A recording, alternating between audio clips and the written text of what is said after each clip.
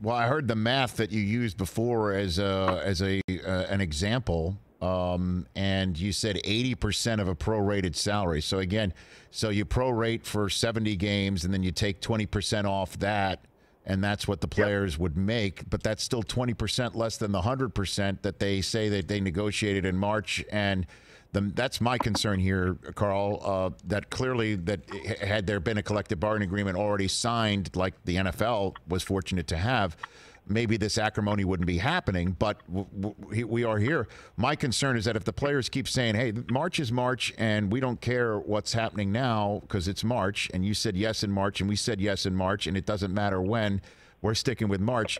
That if the owners begin to think that they're negotiating against themselves, they'll walk. That that that's my concern if they think that they're they, they don't have a partner across the way that's really negotiating? It's possible. I don't think that the commissioner would allow that because I don't think, having been through what he's been through uh, in '94, yep. um, you know, and the and the right hand man is that he on his watch would want the game to stop. I don't think he's. I don't think he's going to allow it. I think there's going to be baseball.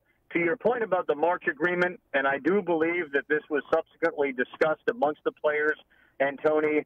Um, I'm not certain that they recognized the March agreement does stipulate, and most labor lawyers would tell you that March agreement does allow for a negotiation if the games are going to be played in front of empty stands.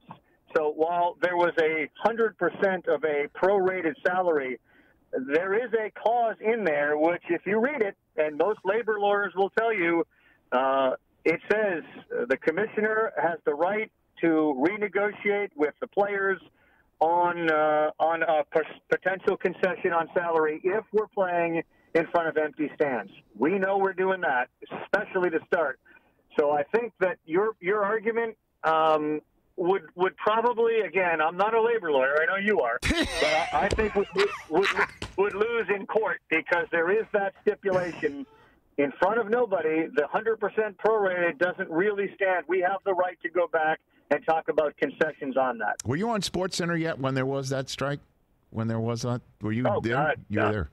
I was chasing owners around streets in That's New right. York and Toronto. Paul Beeston Paul ducking in and out of buildings. Bud Selig not wanting to talk about anything. A guy named Richard Ravitch who was oh, representing yeah. one of the sides who everyone thought was associated or related to me, which wasn't the case. yeah, none of it's ever fun, and that's why uh, you know those of us that are intimately involved with this sport and not the NFL, like you are, you know, you're up all night, not necessarily because the KBO is starting in an hour. You're up because you're dealing with a group that just doesn't seem to to get it, especially in light of this. I, I think people would accept the fighting and the bickering and the acrimony if this was a four or five year deal for the future CBA. This is literally about getting back on the field in 2020, and the lines have been so blurred and the circles have become so concentric they can't see the the forest, you know, through the trees. Hey, you watched all the way to the end. Thanks for that. Watch more right here.